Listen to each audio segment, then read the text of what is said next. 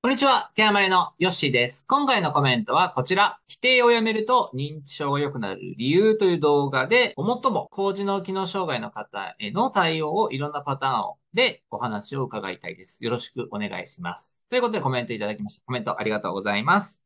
基本的には、高次脳機能障害の方も、私認知症の方でも、まあ、否定をしないというところで対応させていただいています。例えば言葉遣いとかも、〇〇しないでください。とか、〇〇しないように食べてくださいとか、〇〇しないようにバツバツしてくださいとかですね。まあこういった言い回しというのはなるべくしないようにさせていただいてます。ということで具体的なパターン、やっぱりいろんな方がいらっしゃいました。はい。過去振り返りながら、いろいろ思い出しながらと思うんですけれども、お若く、比較的お若いで、50代ぐらいの方で、工事の、工事の機能障害の方で、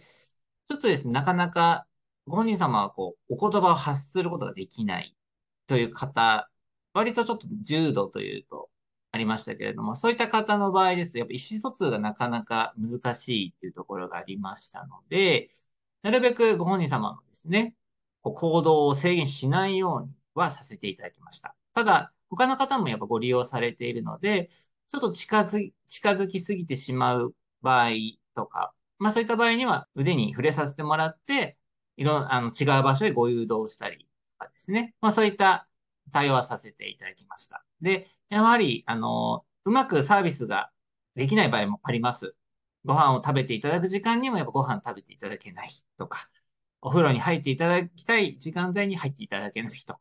まあ可能な限りご本人さんが嫌がっているなって様子が見られるときには、その場では対応せずですね。人を変え、時間を変え、場所を変えっていうことで、ご本人様が嫌じゃない状況下で、ごサービスをさせていただくっていうことをさせていただくのを基本としていますやっぱり、どうしても今日お風呂に入んないと、一週間以上ね、お風呂に入ってないとかですね。まあそういった場合にはちょっと申し訳ないんですけれども、お風呂にご案内、誘導をして2名でですね、お洋服を脱いでいただくとかですね。まあ、はい。まあ、もう正直申し上げると、まあ、これはやらざるを得ないかなというところで、清潔保持というところで、はい。ちょっとやらせていただくっていう場合は過去にあります。基本は、こう、ご本人さんが望むように言葉かけ、誘導したりっていうところで対応はするんですけれども、今日はやらなくても、まあ仕方がないかっていう時には、次の日に延期したいですね。なるべく、そういった形で対応というふうにしてます。工事機能障害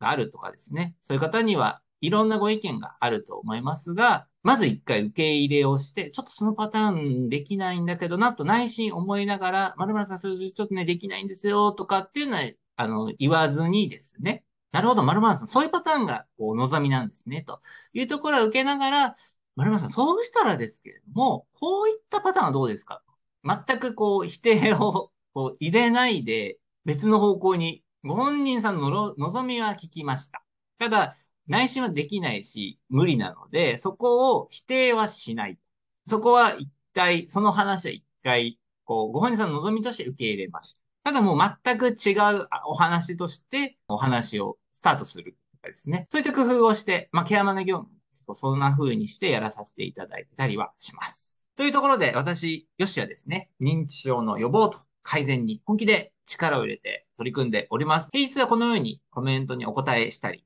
毎週土曜日、日曜日は19時に動画を配信しておりますので、ぜひチャンネル登録していただけると嬉しいです。本日も本当にありがとうございました。